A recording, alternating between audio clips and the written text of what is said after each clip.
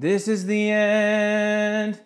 My only friend, the end.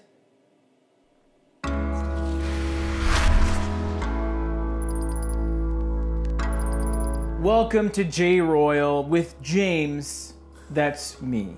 J Royal is a fun loving channel about fragrance, fitness, and fun. And every Friday I've been doing a top five list for you special peeps out there. Well, I'm sad to say that today is my last top five. Well, arguably the most fun segment for me to put together, I've decided to make my 50th top five my last. Before I get into why this is my last top five and all that, I decided it'd be kind of fun to look back at some of my favorite top fives that I've done. is that a little narcissistic, perhaps? Uh, quite possibly, yes. The top fives that I've done have ranged from decent to wacky to boring and predictable, and everything in between. But these are the five that really stood out to me when I thought back about making these really, really fun videos. My number five Top 5 Friday is Top 5 Cuddle Fragrances.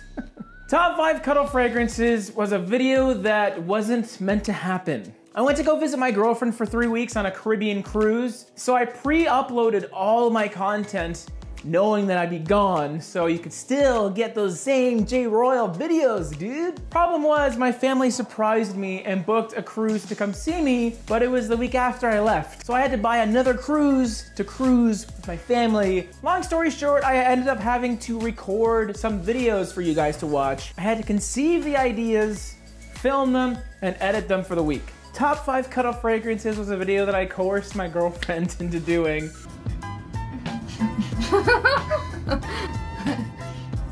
I like that better. You like that Yeah. better? It's, it's number one right now. It's number one of two fragrances. it gets number five because it was a bit cringe, but really, really cute. And it was Leslie's first appearance in my videos. Plenty more to come, by the way. My number four favorite top five Friday that I did was top five most complimented designer fragrances of 2017. Views. My number three favorite Top 5 Friday was the Top 5 Sport Flanker video I did with Timmy from Imagine Scent. It was a response video to the first collaboration we did on his channel that got a bit of backlash because of our contrasting energy levels. Top 5 Sport Flankers was a great opportunity for me to respond to the trolls and the haters. I was a bit apprehensive at first because I don't like to feed trolls, but then I realized that trolls they feed me. Timmy and I released a video on the top 10 sport fragrances. There were several individuals who were exclaiming that the energy level contrast was a bit jarring. Perhaps one person had a bit too much energy. So I've taken your criticisms into consideration and my response would be to suck my balls! Gotta love a good ball pun.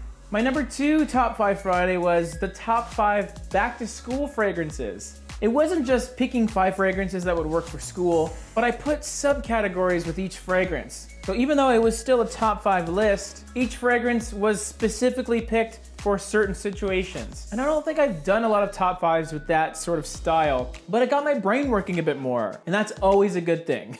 Let's check out what I picked for number one. My number one back to school fragrance is Sauvage Very Cool Spray.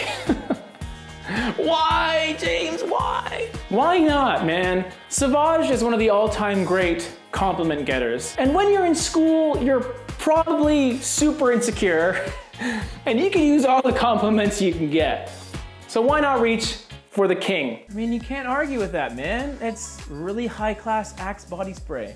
And we all know how big Axe was in high school. Am I right? Fellow late 20s people. And my number one favorite top five Friday was Top 5 fragrance top 5s. This video was made back when I was fresh off my royal training days of my wacky fitness videos, before I reeled it in a little bit and became a bit more professional, starting to lose that professionalism slowly again, thankfully. And essentially it was kind of a satire on all the top 5s on YouTube. So I ended up picking my favorite fragrance top 5s and then picking my favorite fragrance from those top 5s if I were to make those lists. So at the top of my summer list, we got a goodie, Xerjoff Renaissance. Part of the 1861 collection, this is the summery brother of Naxos.